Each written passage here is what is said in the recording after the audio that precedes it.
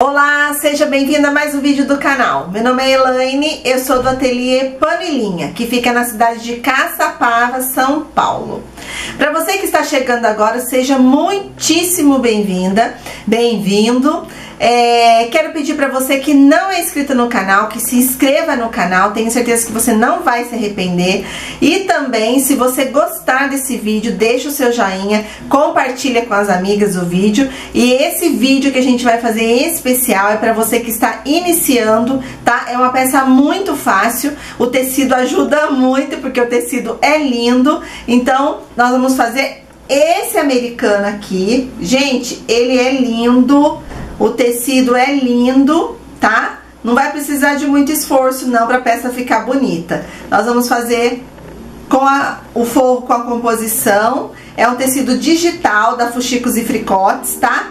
Então eu tenho certeza que você que está começando agora, você vai conseguir fazer essa peça linda para você usar na sua mesa, tá? É uma coisa mesmo assim, super rápida, tenho certeza que você vai fazer. E eu aproveitei também e fiz um paninho de prato, gente, com o restinho que sobrou do kitzinho de tecido. E se você quiser daí fazer o paninho de prato, é só você voltar em alguns vídeos que eu tenho aqui no canal, tá bom? Então bora lá, gente, para as medidas. Olá! Antes de começar o vídeo, eu quero te dar um recadinho rapidinho.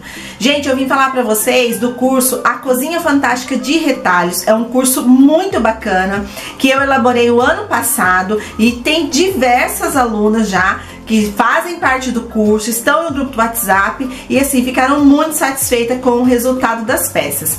É um curso com oito módulos, então são oito peças que eu ensino você a fazer peças de cozinha a partir dos retalhos que você tem na sua casa. É muito bacana, as peças são muito bonitas e são técnicas que você consegue aplicar depois em outras peças que você for fazer, tá? Eu vou mostrar pra vocês as peças rapidinho aqui. Aqui, olha, a gente tem a toalha de mesa, que é inteirinha de retalhos, tá vendo? Olha, são técnicas de costura criativa e de patchwork junto, tá? O trilho de mesa, são dois modelos de jogo americano. Essa técnica aqui é incrível, você consegue aproveitar muitos retalhos fazendo essa técnica desse jogo americano. Essa passadeira, gente, que é maravilhosa, você aproveita até os pedacinhos menorzinhos que você tem. Esse outro tapete, o puxa-saco, olha que lindo esse puxa-saco, gente. Olha que acabamento bonito. E o paninho de prato. Fora bônus que eu coloquei lá no curso, gente, que são técnicas de acabamento, dicas, várias outras coisas assim preciosas que você consegue assim, é, eu consegui elaborar e colocar nessas aulas, porque são experiências que eu tenho nas aulas presenciais aqui com as alunas. Tenho certeza que você vai gostar. Se você se interessou pelo curso, é só você clicar no link que tá na descrição desse vídeo, tá? Eu vou deixar uma letra bem grandona para você enxergar o curso da Cozinha Fantástica de Retalhos. Te espero lá. Então, gente, vamos lá para as medidas. É um americano muito simples. Então, você que é iniciante, você vai conseguir tirar de letra, tá? Eu sempre falo para vocês que quando o tecido, ele tem uns desenhos, o desenho é grande, né? O desenho é bem assim, é como é que eu posso falar? É bem definido, né? É grande, bem definido. Não é bacana ficar cortando o tecido, sabe? Tirando faixa, é, cortando em quadradinhos, porque você acaba perdendo a beleza do tecido. E esse é o caso aqui, é um tecido super bonito, é digital. E ele tem esses desenhos muito bonitos, muito delicado. E eu tava, eu tenho ele no ateliê e fiquei pensando o que, que eu conseguiria fazer com essa belezura aqui. E eu pensei nesse americano, ficou assim, muito lindo. Então, assim, é uma, uma dica para um tecido que você tenha, né, ou, ou vai adquirir, um tecido bonito já, para que ele fique, assim, charmoso, não precise de muita coisa pra peça, tá? Esse kit eu tenho para vender no site, tá? Então, se você se interessar, é só entrar no site. O que, que nós vamos fazer agora? Nós vamos cortar a parte de cima. Deixa eu conferir aqui com a fita só para eu ter certeza, ó. Você vai cortar 28,5, tá? De altura por 47,5, tá bom? Essa, esse vai ser o tamanho aqui. Gente, americano, o tamanho é opcional, tá? Então, você que faz, você que sabe o tamanho que você quer fazer. Não pode passar de 50 centímetros e nem pode passar de 40 aqui, que senão fica quase que uma toalha. Então, eu sempre gosto de fazer de 45 por 35 por 36, tá? Esse é o tamanho mais ou menos que eu gosto de fazer. Mas se você faz para vender, o bacana é você muitas vezes argumentar, muitas vezes a mesa da pessoa é pequena, né? Ou então é muito grande. Então, é legal você saber a necessidade necessidade do seu cliente, ou então a sua necessidade mesmo, né? Aqui, gente, a faixinha tem 10 centímetros, tá bom? Pela mesma largura. Por onde que eu vou começar? Primeiro, eu vou colocar a renda, tá? Nessa partezinha aqui. E depois eu vou unir a parte de cima com a parte de baixo aqui. Deixa eu colocar a renda aqui.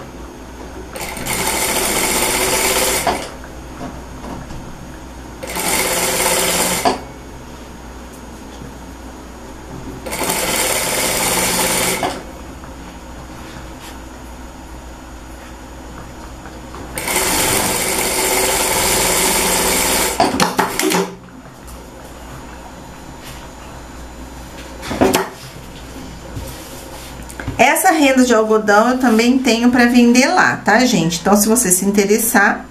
Agora, gente, é só colocar, né, frente com frente aqui.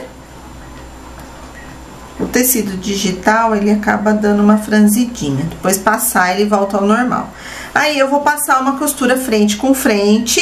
Se você tiver dúvidas ainda ou for iniciante, é bom você alfinetar. Eu não vou alfinetar, eu vou passar uma costura pé de máquina aqui direto.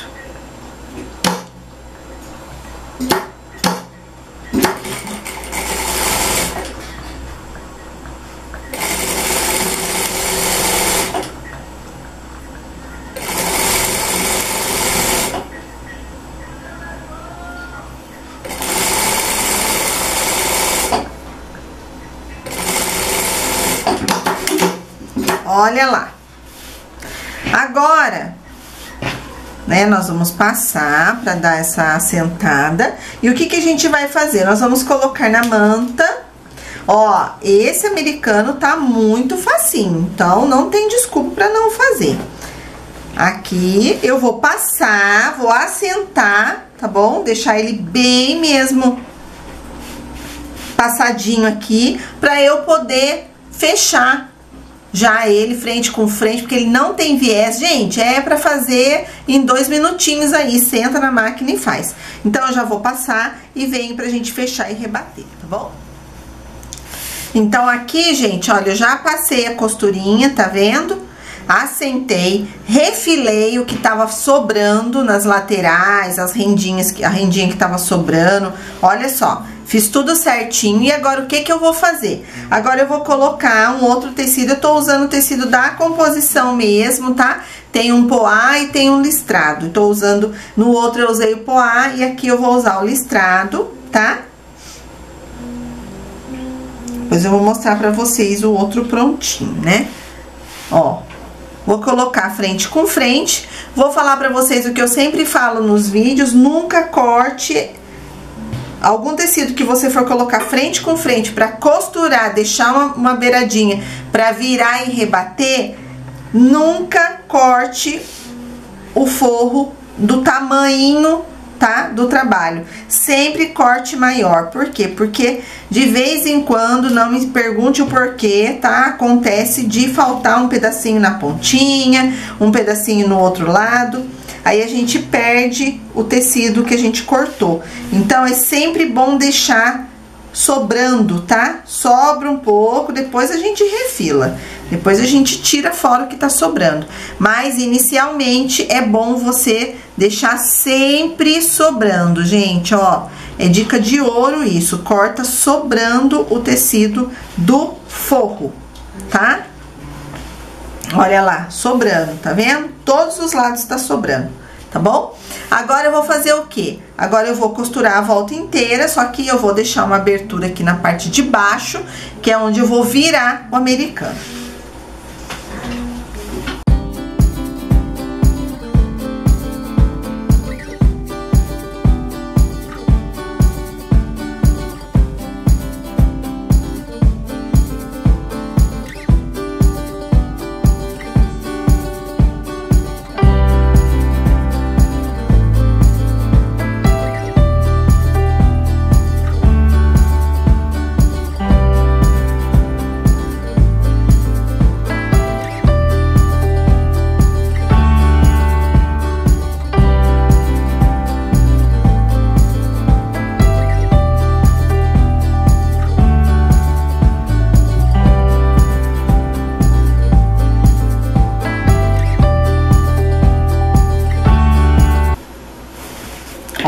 Só.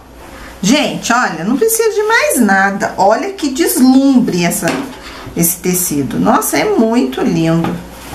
Imagina a mesa arrumada com um prato bem mesmo charmoso. Tá? Eu vou lá passar agora. Aqui, pra fechar essa abertura, o pontinho invisível, tá bom? Um pontinho invisível aqui pra gente poder rebater a volta inteira. Então, eu vou passar, vou fazer esse pontinho invisível e venho pra gente rebater a volta inteira e vocês poderem ver o resultado do meu americano Pronto, ó, já fiz os pontinhos, já fechei. Agora eu vou fazer o quê? Agora eu vou fazer uma costura pé de máquina, a volta inteirinha do americano.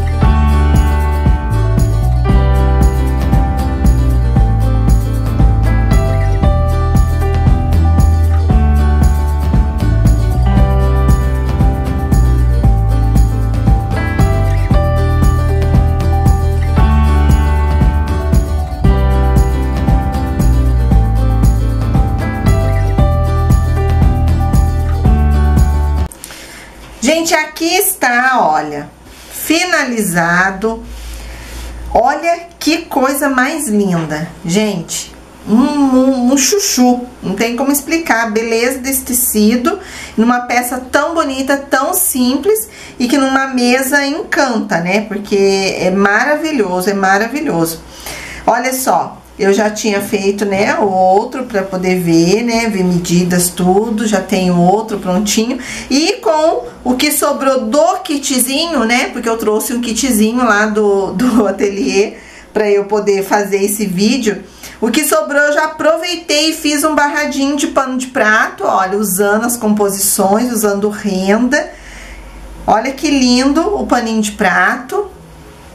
Fiz um barrado, olha, então aproveitei bem o tecido. Gente, olha que dica de presente muito bacana para um casalzinho, né, que vai casar agora, ou que já casou, você quer dar um presente, né? Olha que bacana, o paninho de prato combinando, né, com o americano, dois lugares só para pessoa usar no dia a dia. É uma coisa bem bonita, uma dica muito bacana, tá vendo? Para você vender ou para você presentear, né? Para você dar o presente junto. Olha só, nossa, eu ia amar ganhar isso aqui, porque tá muito bonito, né? Tá bem bonito. E eu espero que você tenha gostado desse vídeo. Eu sei que foi um vídeo bem rápido, simples, para você que já costura. É um vídeo muito simples, mas para você que está começando, eu tenho certeza que foi muito útil e tenho certeza absoluta que você vai conseguir fazer. É só ter assim uma determinação que dá tudo certo para você deixar a sua mesa bem bonita aí. Se você fizer, me marca, tá? Eu tô lá no Instagram, tô no Facebook, Panelinha Patchwork, me marca lá que eu vou amar ver a sua peça. Se você ainda não conhece o site, dá uma chegadinha lá. Tenho certeza que você vai gostar do que você vai ver lá. São vários kits de tecido, tudo combinando já, só esperando a dona, né, quem for adquirir, poder levar para casa e fazer uma peça bem bonita, porque eu já faço todas as combinações, então fica muito mais fácil, tá bom? Muito obrigada, até o próximo vídeo. Tchau!